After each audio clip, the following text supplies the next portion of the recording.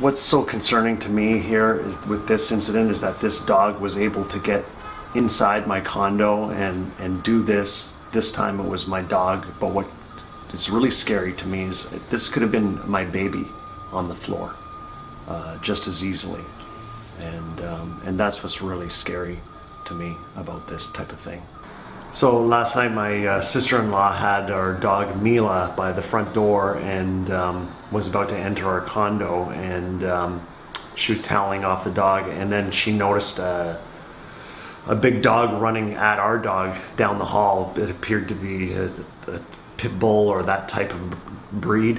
Um, obviously, going for our dog, so she quickly picked up our dog Mila, and she was trying to quickly get into the condo, and then the dog literally pushed its way right into our condo.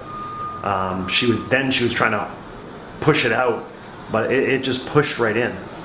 And uh, I was sitting right here um, at my desk, just inside the door, with my other dog, April, uh, was by my feet, and uh, this dog came running into our condo. It went right for April and uh, it just grabbed it before I even knew what was happening. It just happened so fast. It just grabbed April and um, it was just throwing her around. And I mean, it only took a few seconds for me to realize that it was already too late. That that April was uh, had injuries like major, major injuries.